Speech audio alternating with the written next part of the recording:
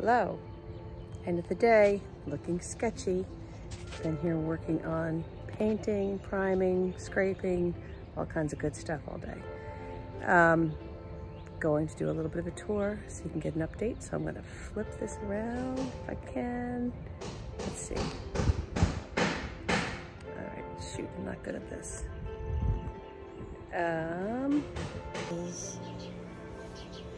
and the butterfly bush.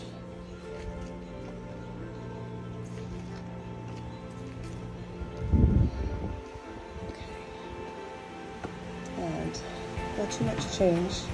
Lots of fans blowing, but before I prime all the trim, just wanted to show that it was all taken down to the grain, which is just pretty amazing. Some of this was smoothed out perfectly. This is where I already started priming.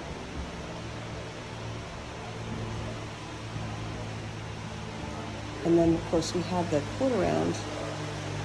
The original quarter round is larger than what we could find today at Lowe's, Lowe's or Home Depot. But um, good news is in Richmond we have Siewers Lumber and you can take anything into them and they can either order it for you or they have it in stock.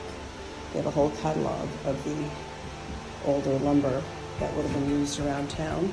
Such a great resource. So we were able to get the exact size and match it up so where it's the old stuff, we sanded it down and where we had to get new, we were able to match it up. Closed up some of these electrical box holes where we don't need them anymore. Because now, of course, we have electrical light code so often you can see the new. We don't need to have that. That was the only outlet in this room, but now we have several. And that's about it. All right, I'll update after the primer.